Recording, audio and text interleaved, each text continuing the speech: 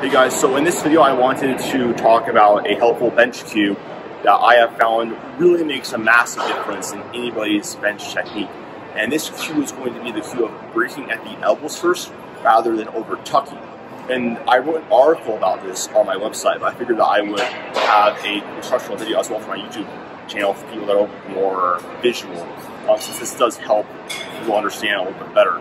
Um, so the main reason why we want to think about breaking at our elbows instead of uh, tucking our elbows first is because from a biomechanical perspective, we want our joints to be stacked. That's where it is strongest at the joint angle. It's similar to a sumo deadlift, how when you have your um, feet spread out wide, you want to keep your tibia stacked parallel to your femur. So that's essentially the same thing we're doing here. Um, if you do tuck your elbows first, you're going to have a few things happen. You're going to lose, you're going to have too low of a touch point on your chest. Um, that's going to also, your elbows are also going to be in front of your shoulder. And if you do this first, you can kind of just see if my elbows are in front of my shoulder, well, that automatically is going to put a lot more stress on my elbow joint, and that's going to put a lot more stress on my anterior deltoid. And anyway, and your body is smart too if you look at how your, your elbows go when you push press back up in the bench, your elbows automatically end up underneath the barbell anyways because your body is pretty smart and it knows exactly how to produce force.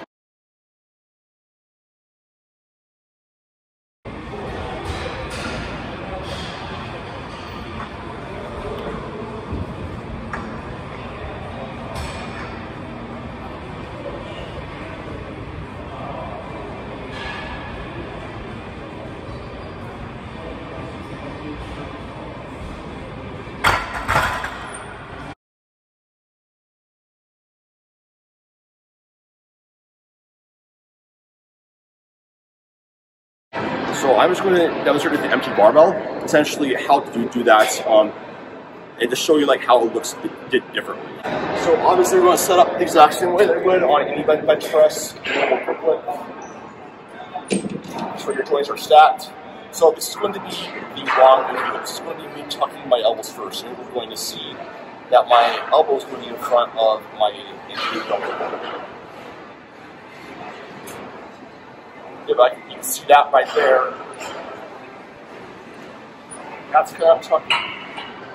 You can see that as I press up, my elbows automatically go back underneath the barbell when I am pressing back up.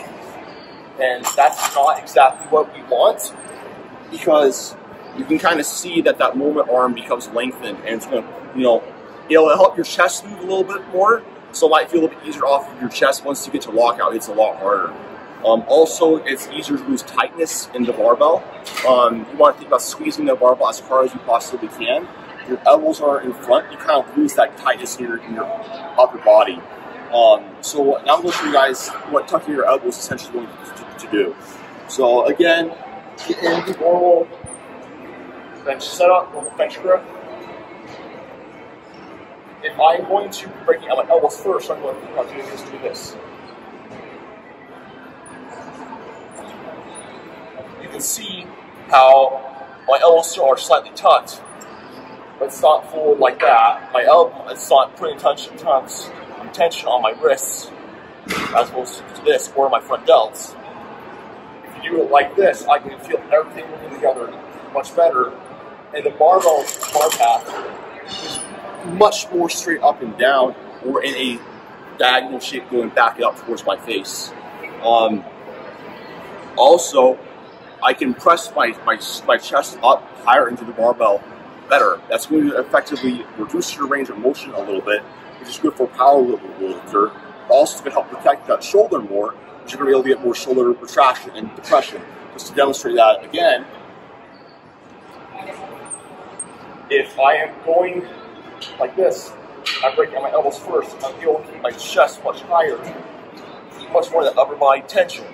Going like this, I lose some of that tension, my chest kind of collapses a, a, little bit, and then I get some more elbow pain immediately.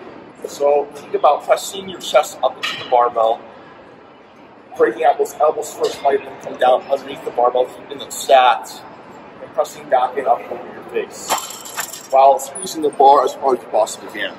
So hopefully this was helpful.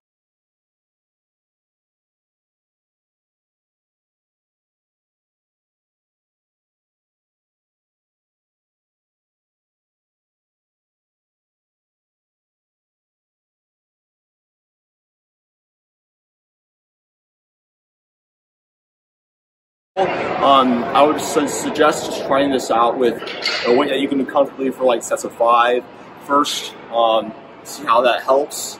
Um, and uh, I mean, I found that you know it might take a little few sessions, but as you keep practicing, you're going to get even better at it. It's going to kind of become second nature, um, and you'll be able to press a lot more weight in a much more safe manner without as much elbow or shoulder pain. Uh, and it's going to just lead to long-term, better long-term progress because we can lift safer, be stronger in certain positions. We're going to be better, stronger lifters.